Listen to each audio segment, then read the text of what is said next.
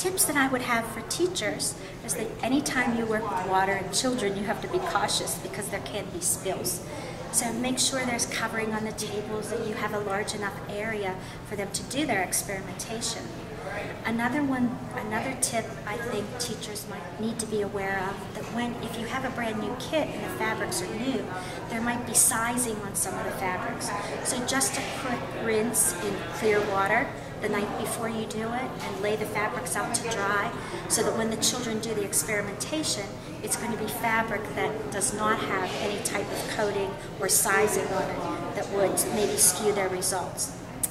Another tip I can think of is in the notebook.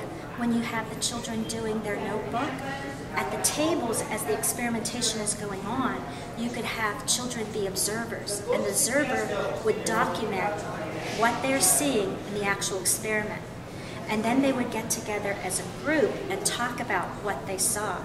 Now you could have them with there's one there's four fabrics, so if groups of four, you can have each child take a turn looking at one of the fabrics and recording for the group the information to pass on to the other children.